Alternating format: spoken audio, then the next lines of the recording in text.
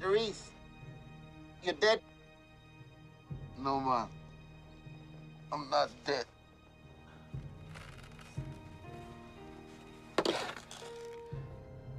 I have to finish the race.